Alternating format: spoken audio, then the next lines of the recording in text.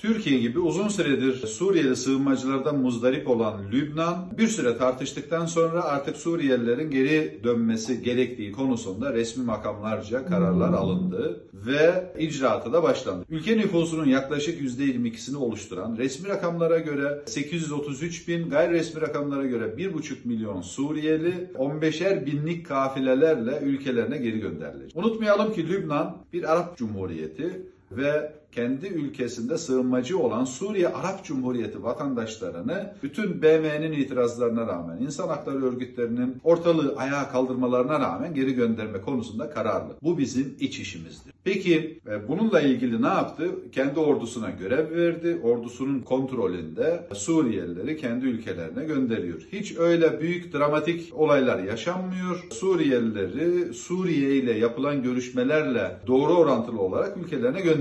Peki Lübnan'ın yaptığını biz neden yapmıyoruz veya neden yapamıyoruz? Bu soruyu her bir vatandaşımızın önce kendisine sonra da hükümete sorması lazım. Türkiye'de Lübnan'daki Suriyelilerin neredeyse 4 katı Suriyeli var. Yani resmi rakamlara göre 3.7 milyon, gayri resmi rakamlara göre 6 milyon civarında Suriyeli var. Afganlısı, Pakistanlısı hele onları saymıyorum bile. Toplamda 10 milyondan fazla kaçağa, sığınmacıya ev sahipliği yapan Türkiye'nin üzerindeki ekonomik yükü siz tahmin edin. Lübnan'da diyor ki 33 milyar dolarlık bir yük getirdi ekonomimize. Su tüketimimiz arttı, çevre felaketine yol açtı, gıda tüketimimizde ciddi sıkıntı var, pahalılık, enflasyon hepsinin sebeplerinden birisi olarak gösterdiği Suriyelilerden kurtulmak istiyor. Sıra Türkiye'de. Türkiye'nin de bir an önce Suriyeliler başta olmak üzere Türkiye'deki tüm sığınmacı ve kaçak göçmenleri geri göndermesi lazım. Bunun için çalışmaları öncelikle bugünkü iktidardan bekliyoruz. Siz yapmadığınız takdirde biz yapacağız.